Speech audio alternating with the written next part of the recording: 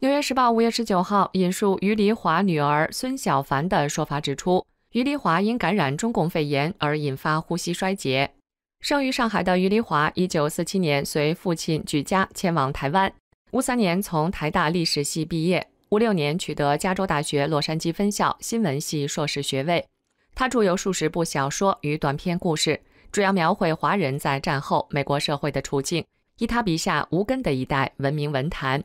不过，一九七五年，余迪华与第一任丈夫赴大陆探亲，随后写下散文小说集《新中国的女性及其他》和游记《谁在西双版纳》，颂扬中共治下的所谓新中国。国民党禁止他回台，并封杀其作品，到八十年代中期才解除。这在当时是非常罕见的，就是一个海外的在西方社会生活多年的人士啊，为中共站台。台湾当局也很吃惊，就把他的行为视为投共。也是在一九七五年，他与失散多年的妹妹美华在大陆团聚。后来接受媒体访问，于丽华提及这段插曲时说：“当时中共要统战他们这些作家，替中共说话，所以他们一回来，统战部就派了一个人陪他们，而且一下子就找到了他妹妹。中共非常擅长利用有名望、有成就的。”国内外人士来替他站台背书，他们帮于黎华找到了亲妹妹，于黎华自然会有一份感激之情。那么会不会因为亲情加上了感激之情，使得这位女作家啊投中共之所好，写出了中共想让她写的文字？这是很有可能的。尽管一度被禁止回台湾，于黎华却从未停止他访问大陆的步伐。观光考察与大陆作家频繁接触，对于这段美国作家撰文赞美共产主义的经历，余丽华两千零九年接受大陆媒体采访时表示，自己当时被迷惑了，因为文革时不会让他看到任何阴暗面，中共给他看的都是光明面。巴金叮咛他都无法访问，文革时受苦的人他一个也没见着。他说，现在看来绝对是不应该的，自己只看到了片面。不应该马上就写文章。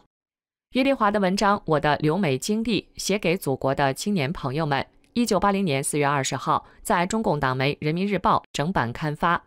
他写道：“国家更需要你们的自信与自尊，维持他在三十年前赢回来的民族尊严。而这里的三十年前，正是中共建政之时。”这番描述迎合了中共所需。中共新华网二零一三年报道提到。一九八三年三月开始，余黎华在《人民日报》连载一批美国来信，后来集结为《美国的来信》出版。《人民日报》称之为第一批走出国门的青年学子们关于西方的启蒙书。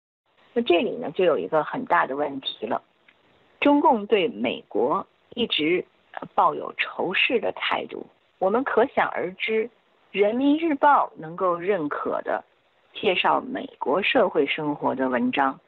而且，《人民日报》认为是关于西方的启蒙书，肯定是符合了中共的意识形态。语言文化专栏作家高天运指出，一个有着多年在西方民主社会生活经历的作家，替中共说好话、唱赞歌，被中共利用来欺骗国内的广大青年读者，危害性相当大。中共需要的宣传文字是服务于他的暴力加谎言的统治。有良知的作家不应该成为他的笔杆子，而是要传播真相。从1975年到1988年，余丽华笔下所看到的中国和眼中的美国都受到了中共认可。高天运表示，中共的谎言、欺骗和人权罪行，尤其是这次隐瞒疫情，对全球造成巨大灾难，也使余丽华本人感染受害。在余丽华不幸病逝后，就有读者提到他生前曾为中共唱赞歌的经历。高天运认为这种反思很必要，各界民众和各国政府都应跳出普通医学框框，看到深层原因，远离中共，远离邪恶，才能抵御中共病毒。